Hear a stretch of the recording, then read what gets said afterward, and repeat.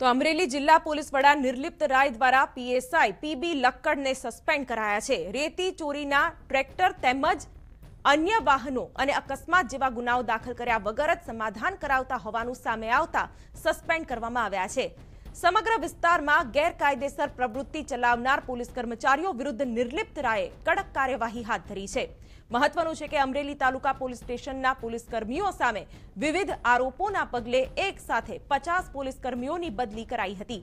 ત્યારે PSI PB Lakkad પર ગુનાહિત પ્રવૃત્તિઓને છાવરતા હોવાના આરોપોને પગલે સસ્પેન્ડ કરાયા છે.